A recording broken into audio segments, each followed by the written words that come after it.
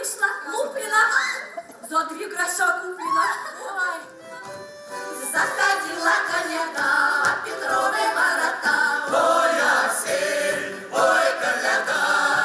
В минувшее воскресенье театрально-концертный центр «Щелковский театр» пригласил на обновленную программу под названием «Рождественские вечерки». Концертное театрализованное представление, подготовленное одним из художественных коллективов театра ансамблем русской песни «Распевы». Здесь будут звучать и колядочные песни, здесь и рождественские песни будут звучать. И в это все в совокупе, сделанном на, нами сценарий мною, это все мы хотим предоставить нашему зрителю. И хотелось бы, чтобы это все не только э, видел так, зритель так, среднего возраста. Я всегда сторонник того, чтобы привлечь к русской песне наше молодое поколение.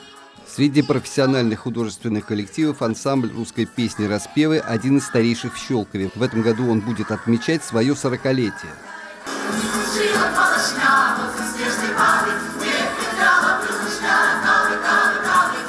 К январю для певцов и артистов ансамбля это особенно горячая пора, когда много выступлений. Концертная программа «Рождественские вечерки» претерпела изменения и обновилась. Она теперь нацелена в том числе и на более молодого зрителя. Если мы ее будем исполнять как бабушки, это все правильно, что они пели. Они вкладывали душу. Но этого э, сейчас, к сожалению, недостаточно для того, чтобы привлечь молодежь. Поэтому э, песни, которые мы исполняем, русские народные песни, мы стараемся аранжировать их. Мы стараемся, чтобы они зазвучали, заискрились по-новому.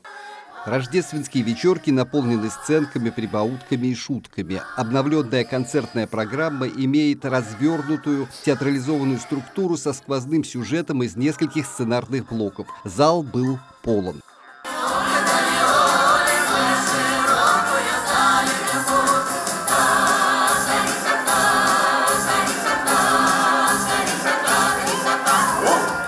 Андрей Цеханович, Валерий Жиглей, Щелковское телевидение.